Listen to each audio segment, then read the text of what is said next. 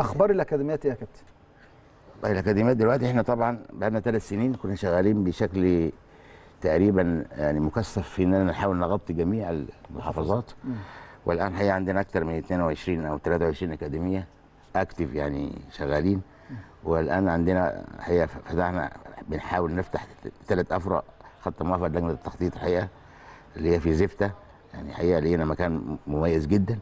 وهي هناك في مكان حقيقة مكتظ بالسكان وعط- كويس. يعني حقيقه الأهلاوية بشكل كبير جدا حقيقه يستقبلون استقبال غير طبيعي. فأتمنى إنه هذا المكان يبقى برضه إيه يفرغ للنادي الأهلي لعيبة كويسة. عندنا حقيقة برضه في أبو حماد. الشرقيه الشرقيه دي من أغنى الأماكن اللي فيها لعيبة مميزة. ومواهب كمان ما شاء الله. وال- والسنة دي خدنا من من الشرقية لوحدها مش أقل من 24 لعيبة على مستوى المراحل السنية المختلفة. يتشافوا في قطاع النشيب النادي الاهلي وشافوا و- و- و- وكمان إيه يعني أقول لك إيه محتاجين لعناية في الأكاديمية.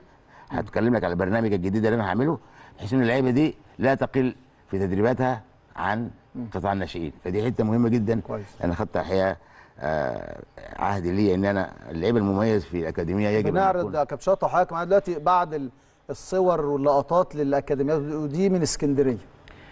ما انت عارف اكاديميه الاسكندريه دي فيها فيها كمان برضه حقيقه في آه، الكابتن ياقوت المسؤول عن هذا الفرع هي شخصيه حاجة أستاذ دكتور بعد تربيه لاعب سابق عندهم عندهم نادي اسمه نادي بايونيرز آه. فالنادي ده في الدرجة الثانية بيلعب في الدرجة الثانية فحقيقة المكان ده أنا بعتقد إنه من من من أفضل الأماكن آه، من حيث الاهتمام باللاعبين وتدريب المدربين على كيفية انتقاء البرامج للاعبين كلها حاجات مهمة جدا. فأنا بق- بقول يعني والملعب حقيقه جديد؟ حقيقة مدام عايده المسؤوله عن الملعب حقيقة.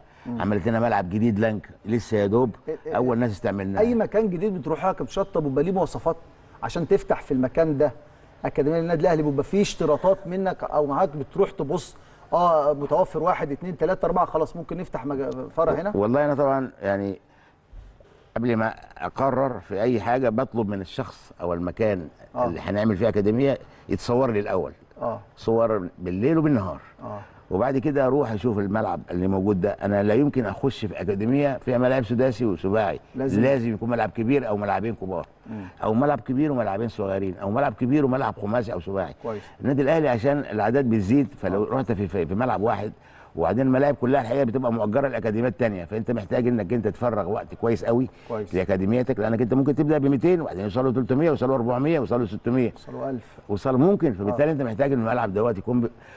عندك فترات تدريبية فيه. فالمواصفات اللي موجودة فيه يكون في غرف ملابس كويس. يكون في مخزن للأدوات يكون في مكتب لمدير الفرع والتحصيل عشان الحقيقة التحصيل مهم جدا لما تيجي تحصل. مش هتحصل في الملعب جوه لازم طبعا. يكون عندك مكان خاص يجي ولي الأمر يخش يملى الاستمارة قدام الناس وإن هو استمارة ال- الاشتراك. استمارة فيها يجي 25 بند لازم يكون مستوفيه للعيب صحيا وبدنيا ويكون عنده كذا وكذا وكذا. فولي الامر بيقرأ هذه الاستمارة والاستمارة دي مهمة جدا.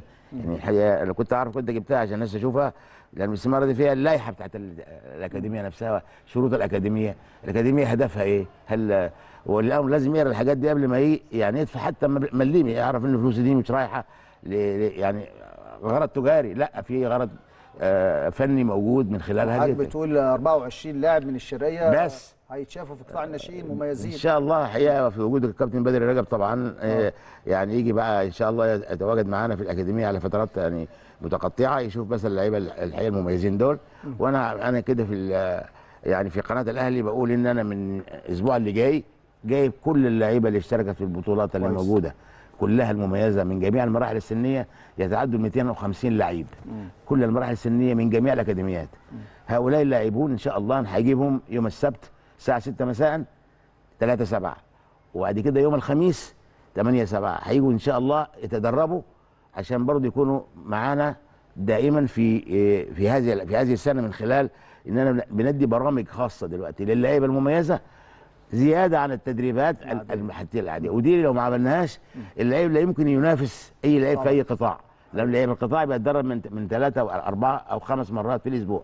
وبعدين عندنا عايزين عندنا ماتشات هنشارك في السنة دي إن شاء الله في جميع البطولات اللي هيعملها الاتحاد المصري لكرة القدم الاكاديميات أو للمناطق منطقة القاهرة أو منطقة الجيزة إن شاء الله.